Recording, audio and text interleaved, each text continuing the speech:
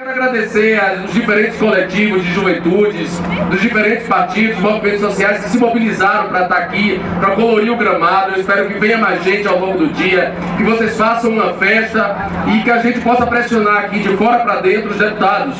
Porque diz uma canção de um compositor baiano que apesar de tanto não, tanta dor que nos invade, somos nós a alegria da cidade. Apesar de tanto não, tanta marginalidade, somos nós a alegria da cidade. Então, conto com vocês nessa pressão de fora para dentro. Muito obrigado. Valeu.